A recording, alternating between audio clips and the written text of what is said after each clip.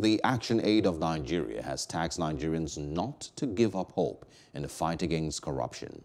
The anti-corruption group made this known in Abuja during the closing up ceremony of its anti-corruption initiative tagged Strengthening Citizens' Resistance Against Prevalence of Corruption, which was initiated to enlighten Nigerians on the need to stand upright and speak against graft. The country director of the Action Aid, Ene Obi, says the project, which was a partnership with the UK government and several other pro-transparency groups, empowered citizens to ask questions, thereby reducing corruption in public spaces. Corruption undermines the rule of law and democracy, diverts resources away from where they're most needed and creates barriers to doing business. The United Kingdom is working in partnership with Nigeria to tackle corruption and illicit finance.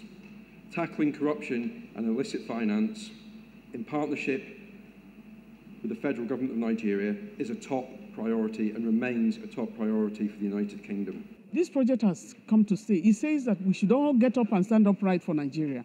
It says that citizens should not stay if you, you are also guilty when you know that something is going wrong and you're not saying anything. And so it empowered citizens to ask more questions than they have. We shouldn't give up on it.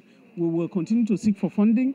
Uh, where fundings are not even available, the capacity built already cannot be removed. In all of this, um, we have also seen better collaboration with government agencies, as we've seen uh, in the presentation earlier today.